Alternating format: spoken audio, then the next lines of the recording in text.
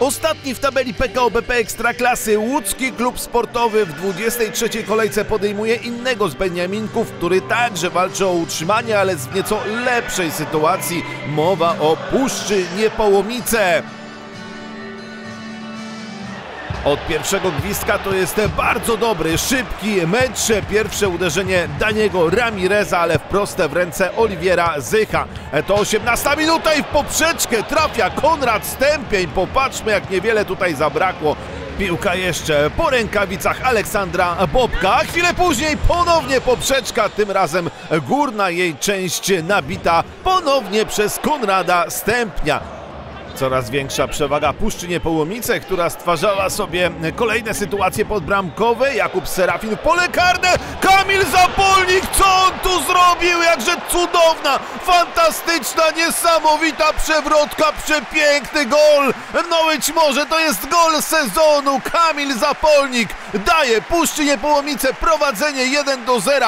Fantastyczny, kapitalny sposób. Piłka odbija się od słupka, wpada do siatki obok bezradnego radnego Aleksandra Bobka. Cudowny gol Zapolnika. Puszcza Niepołomice prowadzi z łódzkim klubem sportowym 1 do 0, ale chwilę później Artur Kraciun zagrywa piłkę ręką i po analizie VAR Karol Arys decyduje że piłka zostanie ustawiona na 11 metrze. Rzut karny dla ŁKS-u, a skoro rzut karny to Dani Ramirez do siatki.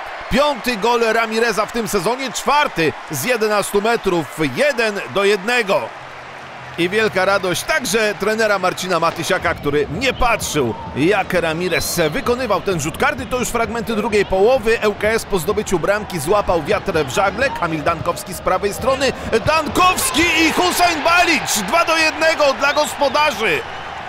Łodzianie odwracają losy tego starcia. Radość na trybunach wśród fanów ŁKS-u. Patrzymy raz jeszcze na te akcje. Dobre, dokładne dośrodkowanie Dankowskiego, ale też nie popisali się obrońcy Puszczy, którzy zostawili austriackiego skrzydłowego bez opieki. No i Hussein Balic wpakował piłkę do siatki kolanem. To jest jego drugi gol w tym sezonie, po tym jak dołączył zimą do łódzkiego klubu sportowego. Błąd Artura Kraciuna i mknie Antoni Młynarczyk. Młynarczyk jest już w polu karnym. Młynarczyk do Balicza, dublet Husajna Balicza. ŁKS prowadzi, spuszczą już 3 do 1 ale musimy tutaj zganić Kraciuna, który grał chyba najsłabszy mecz w tym sezonie i pochwalić 19-letniego Antoniego Młynarczyka, który przecież niedawno strzelił swojego debiutanckiego gola w Ekstraklasie, a teraz zalicza asystę. Balicz natomiast zalicza dublet. Łodzianie którzy już ponad 6 miesięcy czekają na zwycięstwo, są naprawdę blisko tego, aby pokonać Puszczę Niepołomice i wygrać po raz trzeci w tym sezonie. Ale puszczanie połomice nie ma zamiaru odpuszczać. Walczy do samego końca Lee Jin Hyun z rzutu wolnego i Aleksander Bobek dobrze interweniuje.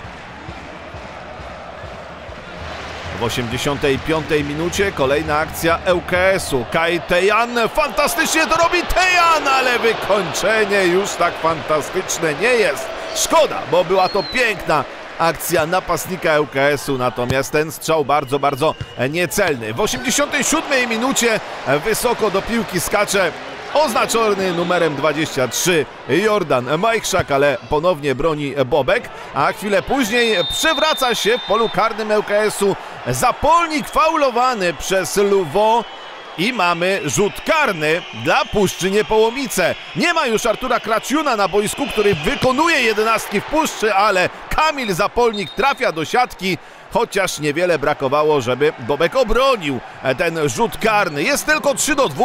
Zapolnik, podobnie jak Balic z dubletem w tym meczu, ale już nie ma czasu, aby Puszcza odrobiła straty i tak ŁKS wygrywa po raz trzeci w tym sezonie, po raz pierwszy pod wodzą trenera Marcina Matysiaka. Łódzki klub sportowy rewanżuje się też Puszczy za porażkę w Krakowie jesienią, ależ radość. 3 do 2 dla ŁKS-u.